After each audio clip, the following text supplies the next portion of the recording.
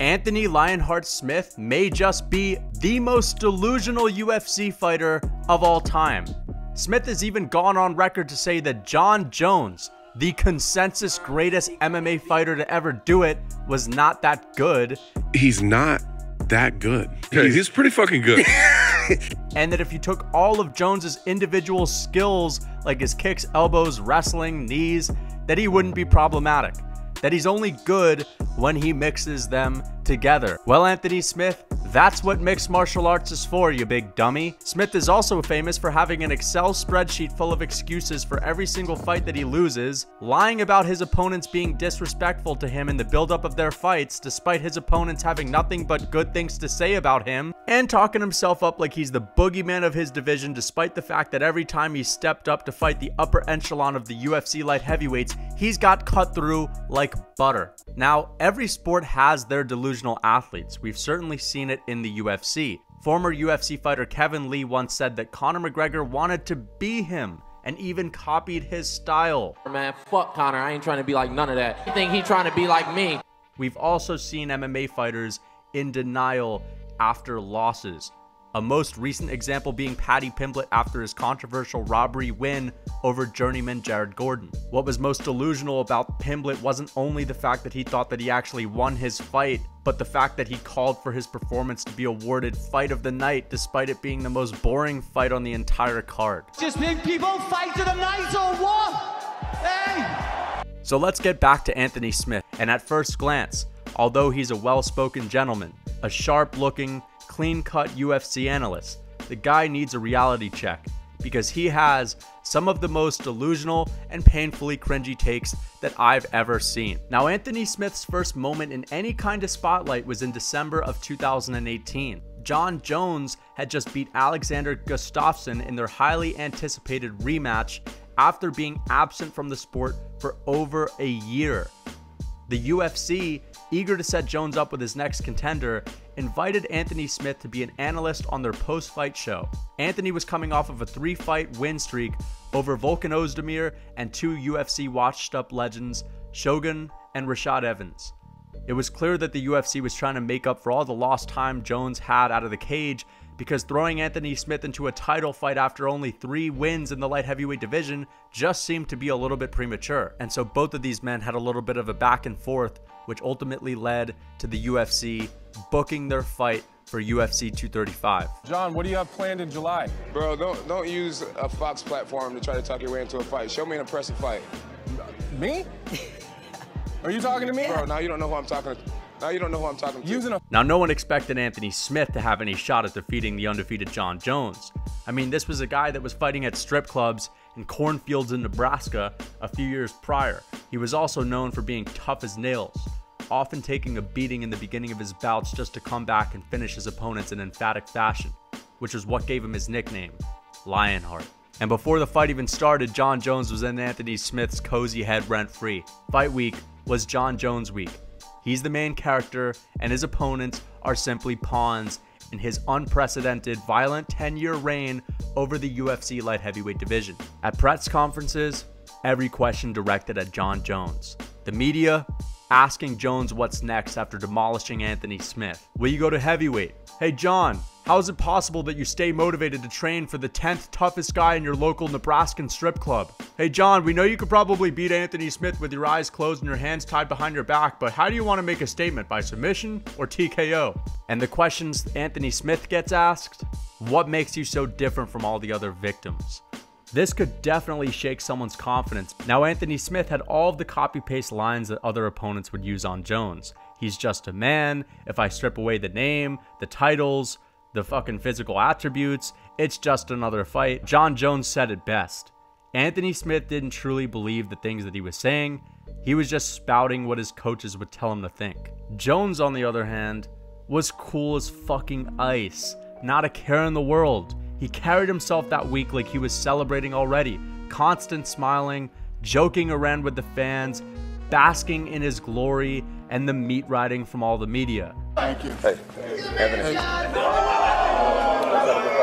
The only time Jon Jones broke out of his nonchalant celebratory mood before the fight was when he was asked to rate Anthony Smith as a contender at their press conference. And this is where things took a bit of a dark turn. With a serious intonation, he said, He'll, he'll get my undivided full attention. There was just something eerie about the way Jon Jones mentioned taking Anthony Smith seriously. The bona fide villain of the UFC, known for being a psycho in and out of the cage, telling Anthony, the Nebraskan 10th toughest guy at your local strip club, that despite everyone thinking I could beat your ass with my hands tied behind my back, I'll have you on my mind 24 7. The fight played out no differently. By the last two rounds, Anthony Smith had resorted to a fetal position, just waiting for the fucking fight to be over. It even looked like Jon Jones chose not to finish him so that he could bully Anthony Smith for the full 25 minutes. And although people never really bring this up as being one of Jones's best performances, it's certainly one of his meanest. Anthony Smith's performance was so god awful that his next fight with Alexander Gustafsson was promoted entirely around the fact that he did so poorly that this time he'd actually fight and not get folded into a pretzel. And this guy has the nerve to say that Jon Jones isn't all that. I don't, I don't have the feeling that's a guy that I can't beat.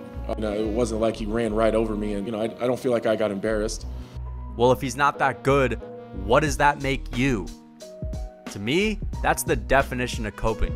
He can't stand that out of all the modern day light heavyweights, his performance against Jones was the worst.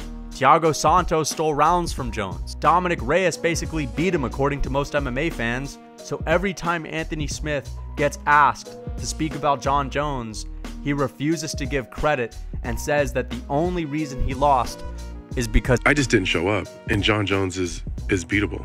Mike, I just I just didn't show up. I mean, on paper, I beat Jon Jones.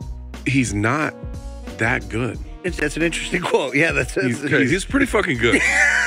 not He might be the not greatest of individually. Like if you take his individual skill sets and you take them away, each one of those things are not a problem. And when Anthony Smith has been pressed to address his comments on Jon Jones, he's chalked up Jones's skill to him just being coachable. And when Jon Jones is not being coached, he just goes back to holding pattern, whatever the fuck that means. Winkeljohn, when I fought him, if Winkeljohn wasn't saying anything, Jon goes into a holding pattern. Did your coaches just come up with that term when you were training for Jon Jones to make you feel better? Anyway, another one of Anthony Smith's most delusional takes is that Magomed Ankalaev isn't good. Now, anyone that watches the sport of MMA and has two fucking eyes can admit the surging Russian contender Magomed Ankalaev is as well rounded as it gets. He has phenomenal wrestling, sambo, good fight IQ, power, and really slick striking. Magomed going into his fight with Anthony Smith was looking unbeatable, and lots of people were saying that it was just a matter of time before he was a champion. They're talking about him like he's the second coming of Jesus. But when the odds reflected this, Anthony Smith being a plus 350 underdog, which wasn't even that crazy, said that he shouldn't even be this much of an underdog, even if he was fighting Jon Jones and Francis Ngannou at the same time. Plus 350? Go get your money. That's criminal. Yeah. God damn. If I was fighting goddamn Jon Jones and Francis Ngannou at the same time, I shouldn't be a fucking plus 350. That's crazy. delusion at its finest. In the build up to this fight, Anthony Smith went on to give his usual Magomed, if you took his individual skill sets away, wouldn't be that good, yada yada yada. He ended up getting his fucking ass whooped, convincingly losing the first round and getting TKO'd on the ground in the second. He followed this loss up by saying that Magomed wasn't as good as he expected him to be. I expected. I think I expected him to be better. I didn't do one thing wrong. You look Like, good.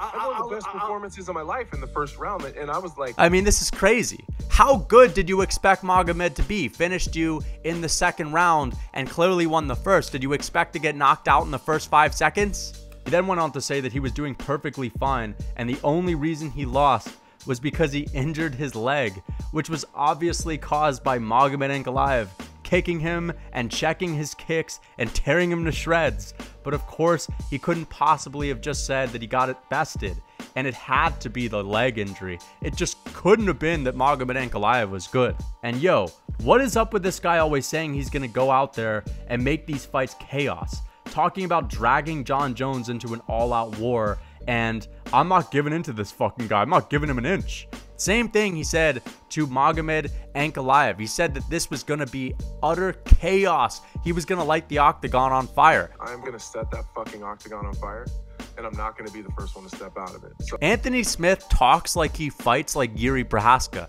He really thinks that he's like the Yuri in the division that could just go in there and just bulldoze any of these top five guys but we've never seen it. And sure, Anthony Smith has had some dogfights back in the day, but whenever he's fighting anyone that's very good, he looks as reserved and as measured in his approach as can be. He was saying that not even King Kong could beat him in a three rounder, and in a three rounder, he's the light heavyweight champion. Bullshit.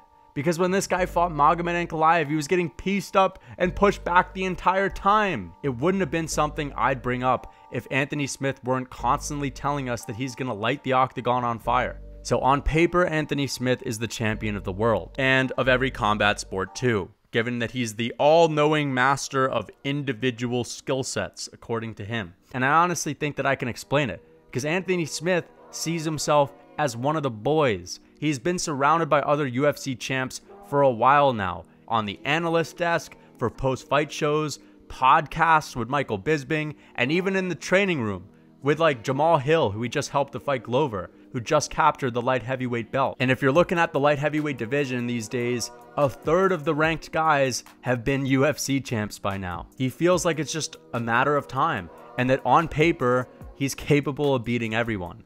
Eventually, he'll be champ, but the time is ticking and he's never got past the upper echelon of the light heavyweight division. Every time he steps up in the rankings, he gets demolished. He can beat guys like Ryan Spann and Devin Clark and a young Jimmy Crute. And I will say, however, that he does actually have some really good skills. He seems to be improving. He has really slick and underrated striking, but his ground game is incredibly overrated. I mean, this guy's always talking about how dope he is on the ground, being a BJJ black belt and all that, but he's been getting fucked up on the ground by everybody recently. Magomed steamrolled him on the ground. Glover beat him so badly his teeth were falling out, and Alexander Rakic looked like Khabib on top of him. Anthony's also lied about Ryan Spann, trash talking him in a lead up to one of their fights. Anthony Smith was coming into the Ryan Spann fight after getting two good wins in a row when he accused Spann of disrespecting him and looking past him. He also said that Spann was trying to punk him. Now, this picked up a lot of attention because after the fight, in which Anthony Smith got the win, he threw a tantrum in the octagon, having to be pulled away from Ryan Spann. Now, if you didn't see any of the interviews or media that Ryan Spann did leading up to this fight, you probably could have taken Anthony Smith at his word. I mean, damn. Spann must have said some wild shit to get the level headed Anthony Smith this heated. Wrong. The weirdest thing about this whole debacle was the fact that Ryan Spann never once mentioned anything remotely negative about Anthony Smith, at least publicly. Anthony was making up lies to get hyped up for the fight, which was just a bit strange if you ask me. He also went on the Michael Bisping podcast the following week and said that Ryan Spann was his bitch for life but I think he's just coping with the fact that he's Jones's, Magomed's, Glover's, and Rakic's, and Thiago Santos's bitch for life too. I just think he could use a serving of humble pie every once in a while because his ego is so out of control. Is this guy fucking nuts? Saying that Jon Jones isn't so good? I am actually losing my composure, man. This is hilarious. If he doesn't own up to his losses, he'll never truly learn from them. So I hope that one day he can get a bit more real with himself. Oh, bro. It wouldn't kill you to show your opponent some respect after the fight and just admit that they bested you, man. You don't always have to make excuses up. Guys, I hope you enjoyed this video. Uh, please leave a like, comment, and subscribe. Until next time.